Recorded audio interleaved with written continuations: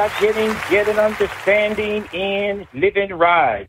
Hello, everybody, and welcome to the Lucius McDowell Living Right podcast. Tonight, we're going to jump off into the Word of God as it pertains to living right. We will be talking about a subject matter that is vitally important to every rightful relationship with God as a believer. And tonight, we're going to be dealing with the subject matter of walking in the Spirit cultivating the fruit of the Spirit. Walking in the Spirit, cultivating the fruit. I'm telling you, a lot of folk are walking, but let me tell you something. Some of that fruit is not ripe. Some of that fruit is not sweet. And I believe that God is saying to the body of Christ, we've got to get the fruit working right so that we can walk on higher levels and higher planes. I really believe that, you know, as we begin to tap into this night, I want you to be able to go back and examine yourself to make sure that you're walking right and you're cultivating the fruit. Everybody got to go back and look at where they are. Look in the mirror. Look in the mirror. Look in the mirror. Not at nobody else, but look at yourself because you know the type of fruit that you are bearing. Second Timothy, glory to God, the third chapter, the 16th verse, it teaches us that all scripture is given by the inspiration of God and is profitable for doctrine and for reproof, for correction, for instruction in righteousness, that the man of God may be perfect, uh, thoroughly furnished unto all good works. I read this every broadcast because I want people to understand that we have a responsibility, and that is we got to make sure that we are doing what we're supposed to be doing so that we can get the inspiration that we needed. But notice what the scripture says. It says all scripture is given by the inspiration of God, by the Holy Ghost, y'all. And it is profitable for doctrine, for reproof, for correction, for instructions in righteousness, that the man of God is not leaving out the woman, may be perfect, thoroughly furnished unto all good works. I don't know about you, but I want to be thoroughly furnished unto all good works. Why? Because while I live in the earth, I want to make sure that I am being the light that God wants me to be. God has created us to be the light in darkness. And I believe that the whole world is waiting for the, uh, the manifestation of the sons and daughters of God to come forth, to come forth, to come forth, bringing great fruit. Not acting like the world, but acting just like you have been really baptized in Jesus, acting like you are controlled by the power of the Holy Ghost. Well, people are perishing for the lack of knowledge, and I believe that sometimes the people they don't know any better. When you don't know better, you can't do better. But when you know better, you do better. Now, open Proverbs, the fourth chapter, the seventh verse, it says, "Wisdom is the principal thing. Therefore, get wisdom, and with all thy getting, get understanding. That means that you have a responsibility to dig into the word. You have a responsibility to feed your spirit, man, so that you'll know exactly those things that you need to be doing to make sure that you are getting what you need, what your spirit needs. And you know what? If you don't feed your spirit, guess what? It doesn't grow. And you don't feed your spirit by watching TV all the time and listening to the radio all the time. But faith cometh by hearing, and hearing by the word of God. So that means that, you know, we don't go by opinions. We don't go by radio talk shows because a lot of them are not hitting the word of God. They're saying what they feel and they're saying what you should be doing, but it's not the instructions in living right. I'm telling you, I need instructions on living right. And when I get my instructions on living right, that's when I will align my behavior with the word of God. And as I align my behavior with the word of God, God will begin to show me things that I need to do to make some major improvement. And let me just tell you that we are all a work in progress, which means that we got a lot of work to do. But guess what? As we begin to submit ourselves to the Holy Ghost, I really believe that we'll begin to walk in some power that God has already promised us, and we'll start seeing some things happen in our lives that will, guess what, make other people wonder, what do I need to do to get where you are? And guess what? We will tell them in a minute in a heartbeat. We didn't do it on our own. This is the work of the Holy Ghost living big on the inside of us. So let's just jump right into the Word of God tonight. I want to start right in Galatians Galatians, the fifth chapter, starting with the 16th verse. And again, tonight, we're talking about walking in the Spirit, cultivating the fruit of the Holy Spirit. The fruit, the fruit, the fruit. A lot of people want the gift, but they need to work on the fruit, fruit, fruit, fruit, fruit.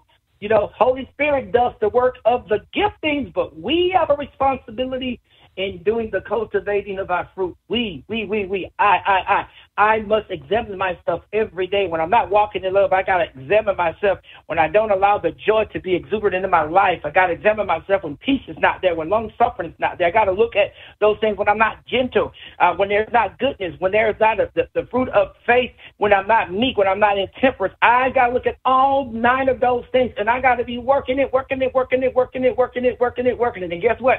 I'll be working on this until I go on to be with Jesus. I'll say you'll be working this until you go on to be with Jesus. And if you don't work it, you will end up being the same way. And you'll end up be governed by your flesh versus being governed by the spirit. I just believe tonight that are many people out there are listening tonight that you may struggle in certain areas, but let me tell you something, struggle no more because when you get this word tonight, you're going to begin to put some things together. You're going to put puzzles in the right place. And guess what? The pieces of the puzzle are going to be put in the right place. And after they're put in the right place, you'll begin to see a clear picture of what our God is speaking unto us. Praise the Lord. So, Galatians, the fifth chapter, starting with 16, verse number 16, it says, This I say then, walk in the Spirit, and ye shall not fulfill the lust of the flesh. For the flesh lusteth against the spirit, and the spirit against the flesh. And these are contrary to the one to the other, so that we cannot do the things that we would. But if you be led by the Spirit, you are not under the law. Verse number 19, it says, Now the works of the flesh are manifest, which are these adultery, fornication, uncleanness, lasciviousness, idolatry, witchcraft, hatred, variance, emulation, wrath, strife, sedition, heresies, envying, murders, drunkenness, reveling, and such like, of the which I tell you before, as I've told you also in times past, that they which do such things shall not inherit the kingdom of God. Then I like verse number 22, it says, But the fruit of the Spirit is, notice he already told you what the flesh is, but he's going to tell you what the fruit of the Spirit is. He says, the fruit of the Spirit is love. You got to have love, people of God. And, then he goes on and says joy, because the joy of the Lord is our strength. He goes on and says peace. He, he says, I'll keep you in perfect peace whose mind is stayed on me. He goes on and says long suffering. He goes on and says gentleness, goodness, faith, meekness, temperance, self control. We were just talking about self control on last Monday. Let me tell you something. What I feed off of, you know, is where God has taken us.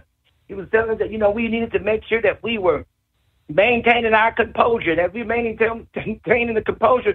We got to go back and cultivate our fruit because you might be okay in the in in in, in the in the temperate side, but you very well may not be so cool and walking in love. So tonight I want you to see that all nine gifts nine fruit of the spirits are, are very important in your life. And I'm going to make sure I'm not confusing anyone. Nine, all nine fruit of the, of the spirit is, is very important in your life. There's a difference between the fruit and the gifts of the spirit. Tonight we're talking about the fruit, walking in the spirit, cultivating the fruit of the spirit. Glory to God. So verse number 25 says, if we live in the spirit, let us also walk in the spirit. Let us walk in the Spirit. Now, I want to go back right quickly and talk about something right quickly because the fruit of the Spirit is a phrase found in the Bible over here in, in, in Galatians. It refers to nine attributes of the Christian life inspired by the Holy Spirit living within us. These attributes are love, joy, peace, patience, kindness, goodness, faithfulness, gentleness, and self control. I'm going to ask you right now how good are you with your fruit game tonight? Are you walking good in the love arena? Are you walking good in the joy arena? Are you walking good in the peace? Are you walking good in patience? Are you walking good with kindness? Are you good? Are you faithful? Are you gentle? Do you have self control? And let me just say this this is not about just you. How do you interact with other people? How do you interact with other believers? This is vitally, vitally important. When we seek the presence of God with humility and faith, we can experience the true joy and peace from living according to God's will. This is the way that God wants us to live. And guess what? This is the way we're supposed to be govern our lives. The fruit of the Spirit is something that we have to strive for daily. It, it, it's a fruitful life in communion with our God. So that means that we just don't do it on Sunday morning. That's why it's so hard for so many people, because if you're not doing it every day of the week, it's going to be hard to fake it on one day of the week. And let me tell you, you got to get it down on Monday. You got to get it down on Tuesday. You got to get it down on Wednesday. I'm not talking about just one of them. I'm talking about all nine of them. You got to make sure that you are acutely conscious of all nine fruit working in your life. And if they are not, you got to get them up to the levels that they need to be. I say get them up to the levels that they need to be because a fruitful life in, in communion with God represents what God is looking for for believers, for believers. Now, I just want to go back again and, and, and talk about again. It says, you know, uh, the fruit of the Spirit is love, joy, peace, long suffering, gentleness, goodness, faith, uh, and all those good things, meekness, temperance, against such there is no law. But I, I, I like it when it says that this I say will walk in the Spirit, and you shall not fulfill the lust of the flesh. Let's just talk about the flesh just for a minute so that we can kind of get that part out of the way because I think that this is uh, critical that we tap onto this because uh, in our bodies we have to deal with the flesh. Flesh in the Old Testament symbolizes mortality and human life in the world. The Hebrew word used uh, for flesh is basar, B A S A R. In the New Testament, the Greek word is used sarx, S A R X, which represented as the sin nature of humankind. Both words are parallel. Now, over in Romans, the 12th chapter, the first verse, it says, present our bodies a living sacrifice. Why we present our bodies a living sacrifice? Because if we don't, the flesh will take over and cause things to happen that are not good. But in Romans, the 6th chapter, the 12th verse, it lets us know sin should not reign in our bodies. Over in Romans, the 6th chapter, the 13th verse, it says, present your bodies as instruments of righteousness unto God, unto God, unto God, unto God. That means that you should be living for God. That means you should be doing those things that represent what believers should be doing. First Corinthians, the sixth chapter, the 15th verse, it says, Our bodies belong to God. So our bodies don't belong to the enemy. We were bought with the price, and that was the shed blood of Jesus Christ.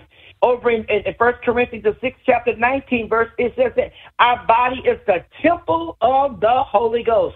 Holy Spirit lives big on the inside of us. And because he lives big on the inside of us, guess what? He will be producing after his own kind. So that means there will be fruit that will be produced as a result of the Holy Ghost living in us. Now, in, in, in 1 Corinthians, the 6th chapter, the 20th verse, it said we were bought with the price. We just talked about that.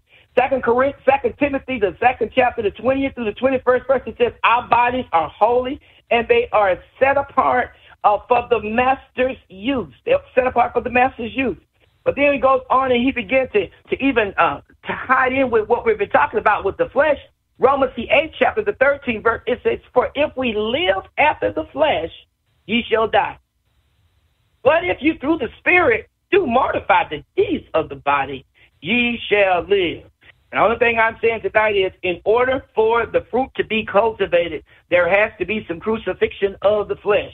You cannot let your flesh do what it wants to do because if it do what it wants to do, it'll cause you to walk out of the will of God and you'll miss the will of God concerning your life. And I don't know about you, but I don't want to miss it. I want to be right in the perfect will of God, and I want to make sure that those areas that need to be perfected in my life, they are being perfected in my life. You ought to want to be perfected just as well. Remember what we said earlier in Second Timothy, the third chapter, the 16 to 17 verse. All scripture is given by the inspiration of God and is profitable for doctrine, for reproof, for correction. Some things need to be corrected right about now. For instructions in righteousness. Somebody needs some instructions in righteousness that the man or woman of God may be perfect thoroughly furnished unto all good works. Some perfection has to take place in order for us to be good at what we're supposed to be doing. Glory to God. Now, over in Matthew, the 26th chapter, the 41st verse, the scripture teaches us watch and pray that you enter not into temptation. It goes on to say, the spirit indeed is willing, but the flesh is weak. The spirit is always willing and ready, but the flesh must be mortified. It must be crucified. It must be whipped in line with the word of God and kept under subjection. It needs to be kept under subjection.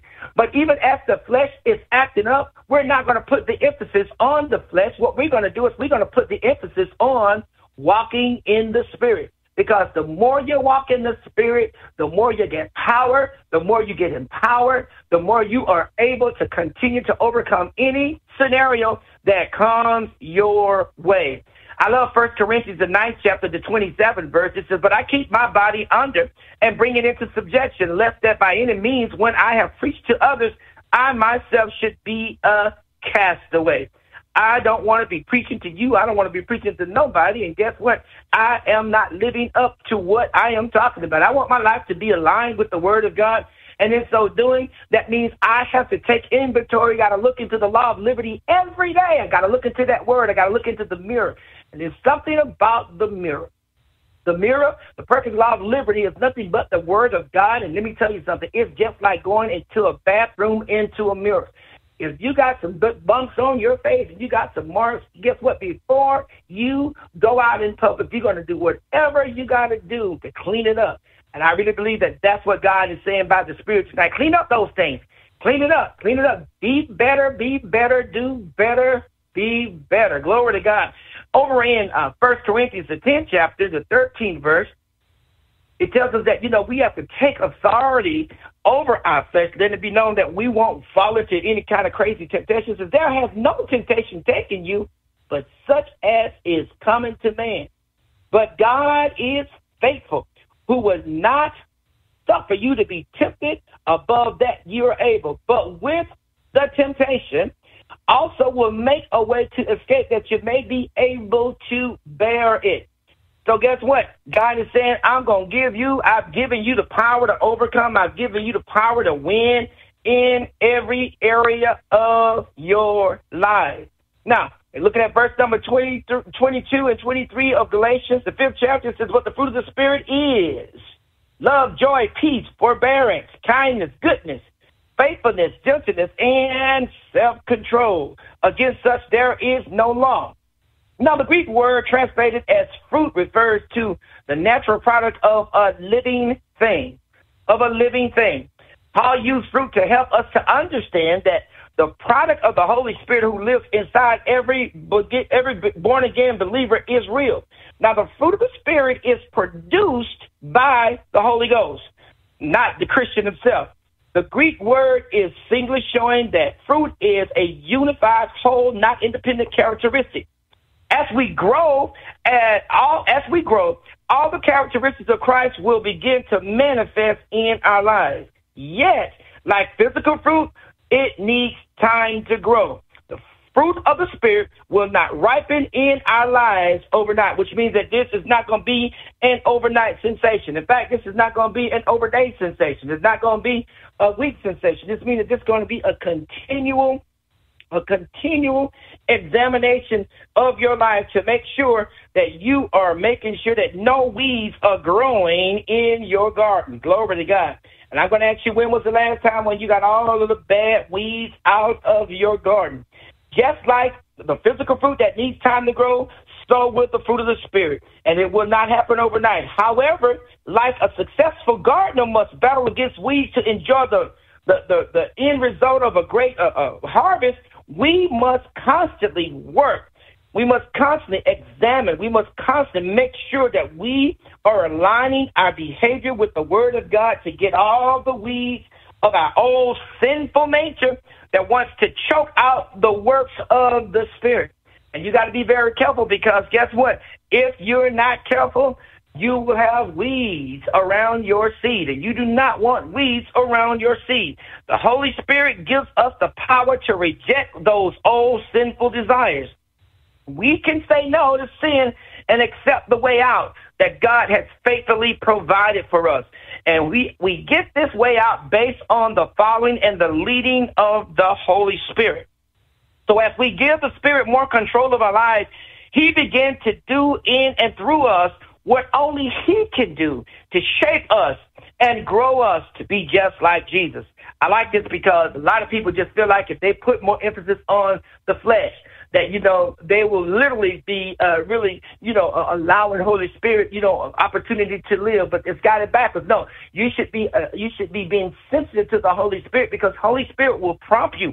He will lead you. He will guide you. He will show you all things, and all you got to do is follow the leading of the Holy Ghost. As you follow the leading of the Holy Ghost, guess what's going to happen? Great things will begin to happen. Now, after Paul discusses discusses the works of the flesh in Galatians, he begins to elaborate about the fruit that the Holy Spirit produces in a believer's life. Now, in uh, Galatians 5 22 and 23, he writes, But the fruit of the Spirit, he goes back and gives you all nine of them. And Paul previously described the works of the flesh. Now he tells us what the Holy Spirit wants to produce in us. Now, I want you to say to yourself, Holy Spirit wants to produce in my life something very great. And what a contrast there is between the flesh and the spirit we talked about. The flesh produces works. Uh, and, and, and that word works come from the Greek word ergos, which implies hard work and hard labor. As noted earlier, glory to God, as noted earlier, life dominated by the flesh is filled with excess, imbalance, unhealthy, extremes, lazy, self abuse, hatred, strife, bitterness, irresponsibility, and neglect, all those negative things. It is the hardest route for any individual, yet the flesh still cries out to be in charge, screaming to have its own way, demanding to be the boss. Got to be in charge. Got to be the one that's telling you what to do and how to do. On, on the other hand, a life dominated by the Holy Spirit is filled with benefits and blessings. So you notice I've not begun to even define the love and the faithfulness and the joy and all the stuff because I want you to understand that if you don't deal with this stuff first, foundationally, we will have some major problems. And I really believe that a lot of believers they get born again and they forget about the fruit. They forget about the Holy Ghost who's working in them so that some great things can manifest out of their life. Now, regardless of whether it is a plant let me go back here. I got ahead of myself. Look at what the, the Spirit produces. The, the Spirit, Holy Spirit, it produces fruit. The word fruit is from the Greek word karpos, which describes the fruit of a plant, the fruit of trees, or the fruit of one's body, such as a person's, uh, children, or offspring. Regardless of whether it is a plant or an animal or a human, all fruit is produced from some kind of seed. If there is no seed, there will be no fruit. And the kind of seed that is sown determines the fruit that will be produced in your life. You get what I'm saying? Every fruit produces after its own kind. Now, go over to Genesis, the first chapter. I can prove this point to you. Verse number 11. It says, And God said, Let the earth bring forth grass, the herb yielding seed, and the fruit yielding tree yielding fruit after his kind, after his kind, whose seed is in itself upon the earth, and it was so. Verse 12, and the earth brought forth grass and herb yielding seed after his kind, and the tree yielding fruit, whose seed was in itself after his kind, and God saw that it was good. Now, let me just break it on down for you. Apples always produce apples.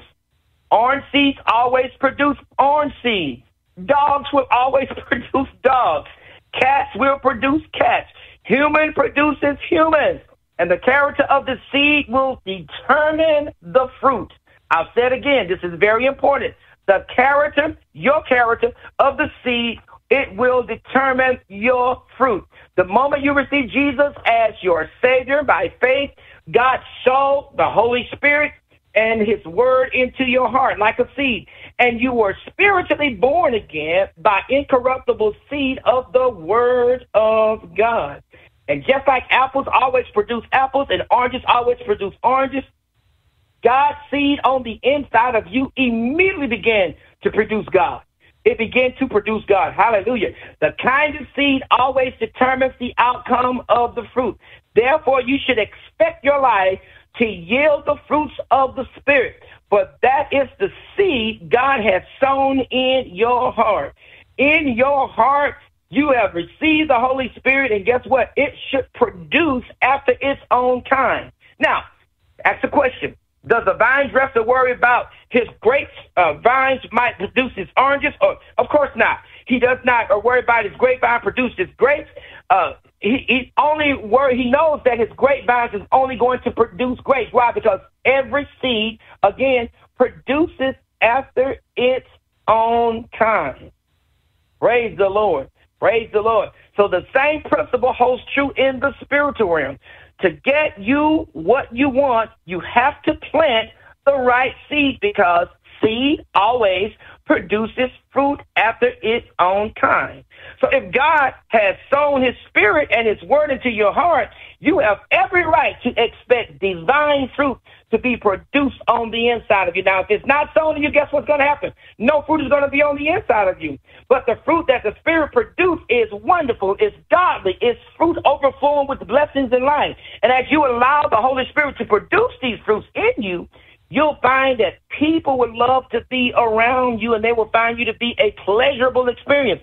But if you ever notice where people who don't walk with the fruit of the Spirit, most people don't want to be around them. That's what I'm saying. It's time to inspect your fruit. It's time to go back in and get the weeds out because everybody should be walking in love, every born again believer, to the point where somebody want to be a part of you to get something from you. See, once they partake of the love, the joy, the peace, the long suffering, the gentleness, the goodness, the faith, the meekness, and the temperance. It is evident it's in your life. They will want to come back to get multiple servants of the fruit that you have to give. Nobody wants to be around eating bitter fruit. Have you ever gone to a grocery store and you noticed that, you know, you went to pick out the fruit and it didn't look good? If it didn't look good, you did not buy it.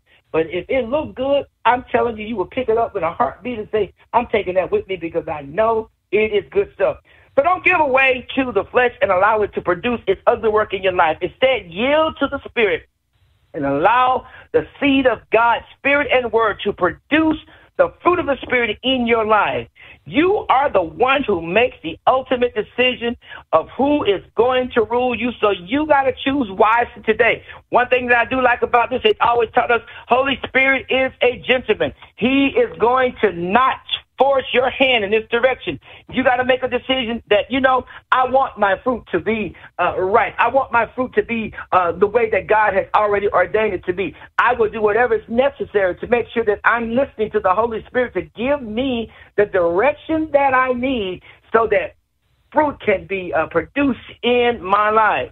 Now the question begin again, do you want to walk in a cruel heart, bitter works of the flesh, or would you prefer to mortify, kill it, get rid of the get rid of the, the flesh and allow the Holy Spirit to produce after God's own kind. And I want you to understand these are some things that you have to make a decision to do. It's left up to you, but only you will make that decision. The Holy Spirit is not going to make that decision for you. So as we begin to go to our first song tonight, want to just kind of go to one song number one called He Never Failed Me Yet, He Won't Fail Me Now.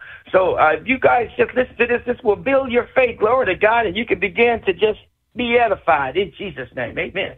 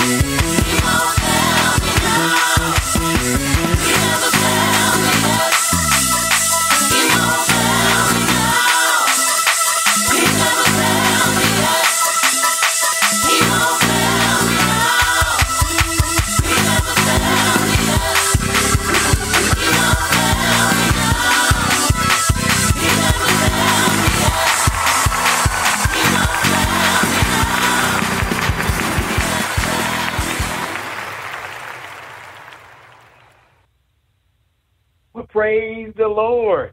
I tell you what, you know, that just was the background seemed like it was singing, but it was saying some words that was saying, He never failed me yet. He won't fail me now, which means that if I'm in a situation where I'm waiting on God to do something, I got to be patient. So that means that I got to have that fruit of patience in place to get the manifestation of what He's already promised me. And if He said He was never going to fail me, and He's going to bring it to pass. Guess what? He's going to bring it to pass. I got to stay in faith again, which is another what? There's a fruit there. And, and if you don't have these fruits working, the fruit working, then that means that you end up forfeiting the very thing that God said that he would do in your life. Hallelujah. So we're going to jump right on into the word again because I want to go back in because I want to make sure that as we spend our final time tonight on the air, that we're able to really walk this thing out with you so you understand what does it mean to walk in the Spirit. Praise the Lord. So Galatians 5.16 says, Just I say then, walk in the Spirit, and ye shall not fulfill the lust of the flesh. Now, we did say, um, I wanted to read the, the, the fleshly uh, things over in the national, the, the new, the new version. Verse 19 says, The acts of the flesh are obvious sexual immorality, impurity, and debauchery, idolatry and witchcraft, hatred, discord, jealousy, fits of rage, selfish ambition. Do you know anybody like that? Dissensions, factions, and envy, drunkenness, orgies, and the like. I warn you, as I did before, that those who live like this will not inherit the kingdom of God. That's in the NIV. Now, I just want to make sure that even as we walk in this out, I want you to hear this. He goes on and says, But the fruit of the Spirit is love, joy, peace, long suffering, gentleness, goodness, faith, meekness, temperance. Against such there is no law. Now, how do we walk in the Spirit? The Greek word for walk here is peripateo. It means to walk. It means to tread around. It means to walk at large. It means to live, to deport oneself, to follow. And here he was speaking of living by conducting our actions according to and following the leading of the Word of God as quickened to us by the Holy Spirit. The Holy Spirit and the Word of God agrees perfectly because the Holy Spirit is the one who inspired the written Word. Now, as we begin to live our lives according to the Holy Spirit and the Word of God, that means we got to train our hearts to hear the voice of the Holy Ghost as he speaks to us. When he speaks to us, we got to know that it is he who is speaking, glory to God, and it's not your flesh. Now, the, according to First John, the fifth chapter, the sixth verse, it says that the Spirit is truth. Now, and in John 17, 17, it says God's word is truth. So we know that the Spirit is truth. God's word is truth. Now it says the word of God is spirit and life. It's going to bring life to you over in St. John, the sixth chapter, the 63rd verse. And then it says Jesus and the Holy Spirit are one over in First John 5 and 7. Now, in the last one, it says Jesus was the Word of God and was made flesh. We know that was in St. John, the first chapter, the first through the third verse down to the 14th verse. Now, when people walk according to the Spirit of God's Word, glory to God, they are walking in the spirit. And if you ever get to a place where you decide that you want to walk contrary to God's word, you are not in the spirit. So that's why it's always vitally important for you to always connect with the word of God to make sure that you are getting spiritual food in your system so much so that you're able to uh, uh, align yourself, align your behavior with the Word of God. Walking in the true revelation knowledge of God's Word as quickened to us by the Holy Spirit is the way we walk in the Spirit. That's the way we walk in the Spirit. When we do that, we reap the benefits, the promises that are already given to us through the Word of God. Now, notice this the deliverance from sin and its influence does not come from yourself. This can only be achieved through the power of the Holy Spirit. When we let the Holy Spirit control us, the Holy Spirit breaks the power of the flesh. I want you to know this. When you allow the Holy Spirit to control you, the Holy Spirit breaks the power of the flesh. So you don't try to deal with the flesh. You just let the Holy Spirit do what needs to be done. Let the Holy Spirit do what it needs to be done. God provides us with the power of the Holy Ghost to enable us to perform His will. So when God gives us that power, He's given us that power so that we are enabled to win in every situation. It is important for us to notice that this verse does not say denying the flesh will not produce walking in the spirit, but walking in the spirit will produce denying of the flesh. I'll say that again. Walking in the spirit as I'm led by the Holy Spirit, it will produce me denying the works of the flesh. This is a subtle difference to some, but the difference is truly profound. You know, as a whole, most religious teaching always teach that you can overcome your flesh and there's a notable increase in the presence and the power of God in your life. That was what the Pharisees of Jesus' day uh, taught and the Jews of Paul's day taught, but this is not the truth. As we experience more of the presence and the power of the Holy Spirit, the influence of the flesh is diminished. So that means that as I experience Holy Spirit working in me, through me, victory comes in that order. And victory has to come in that order if it doesn't, we don't get the Spirit as a result of overcoming the flesh, but having the Spirit results in overcoming the flesh. It's similar to how a dark room is filled with light. The darkness isn't shoveled out and then light comes. The light is simply turned on and darkness ends up fleeing.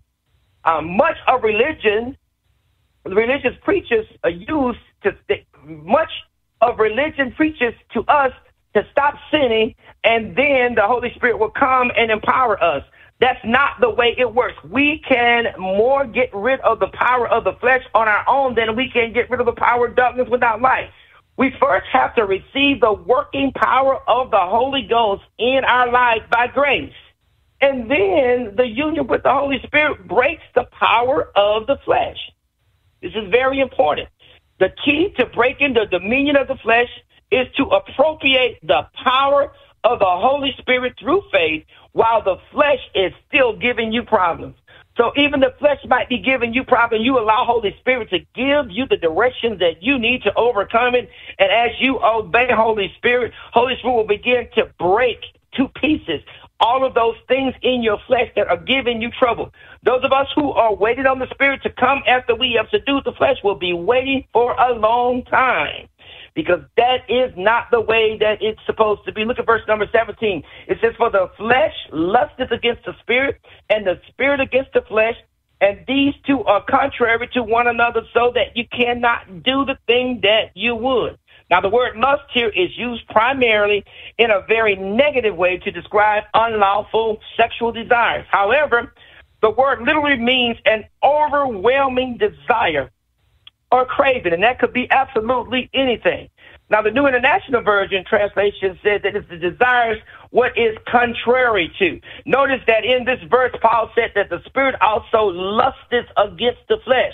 So we know that it is speaking of some unlawful activities.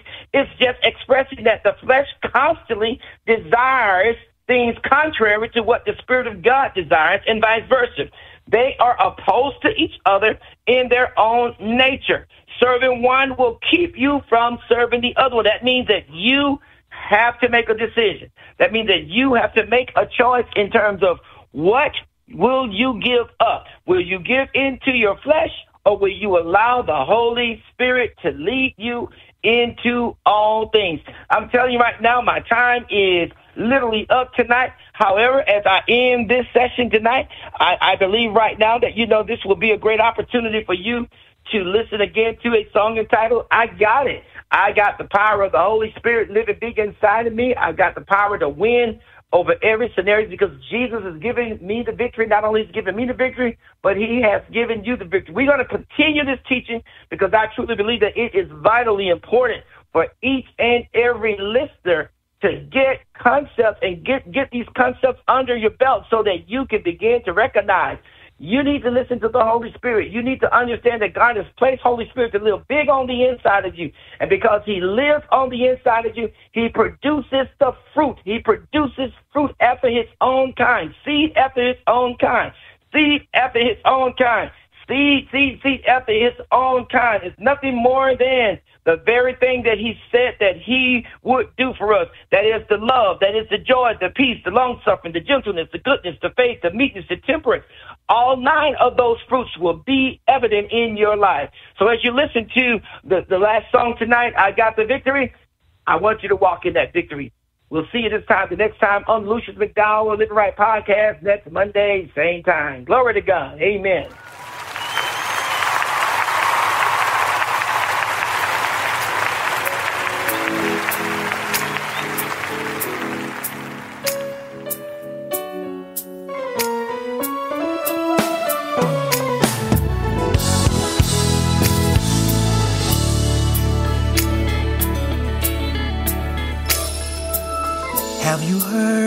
Of an old story?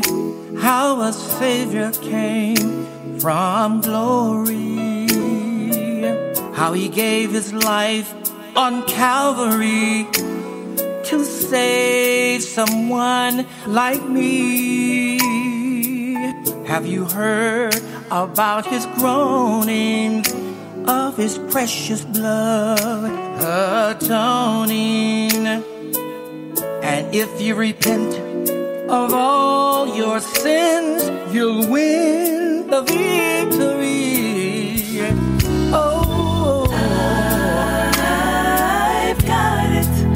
I've got the victory, yes I do. I've got it. do.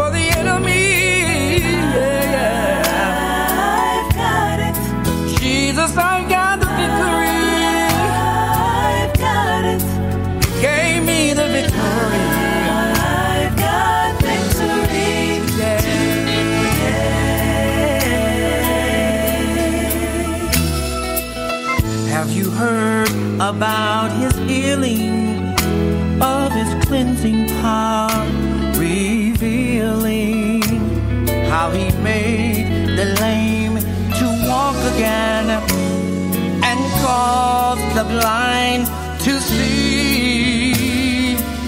If you cry,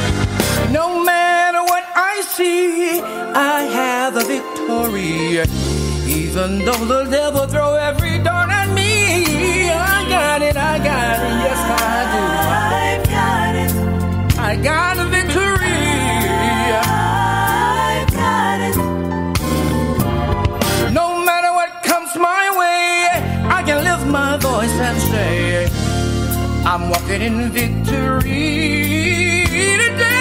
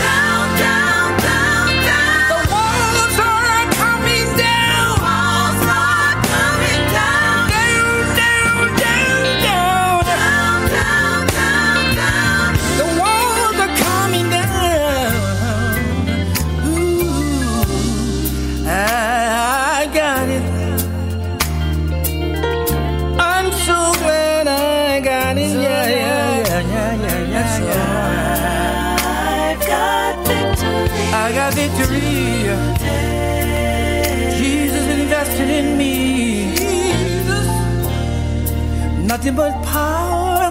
Nothing but power. By the power invested in me. I'm walking in nothing but authority. And it is victory.